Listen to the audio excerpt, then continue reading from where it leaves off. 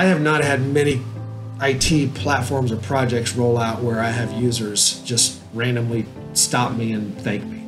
Um, but the ZPA rollout was one of those. My name's Eric Fisher. I work with Growmark, which is a large national agricultural cooperative. We have operations all over the country, and we really do power a lot of the larger agricultural markets in the United States.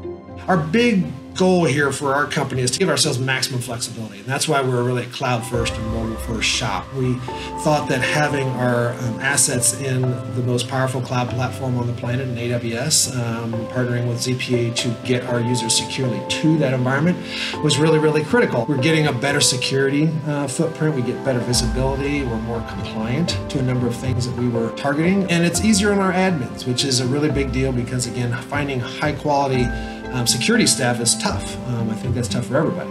When it came to the SAP deployment and operations, you know, we've been a very, very happy AWS customer there. SAP, um, we get some design capabilities there with SAP running on AWS infrastructure that we just can't, we can't do ourselves, and, and nobody else really can either um, that we can see.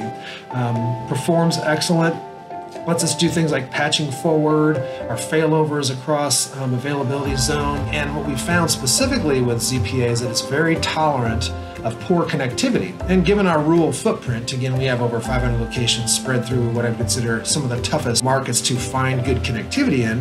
When COVID hit, we just went home. We, we didn't come into the office the next day, and our biggest issue with COVID was really how many monitors does staff get to take home. We're very, very happy with Zscaler, very, very happy with AWS, two big partners for us that have enabled us to um, securely deploy into the cloud um, at scale and give us a position that we have a lot of flexibility to uh, do things like acquisitions, um, build and, and, deploy additional workloads into the cloud, um, and really future proof us, if that's possible in IT, um, to be in the best position possible going forward for the business and their, their operations and growth.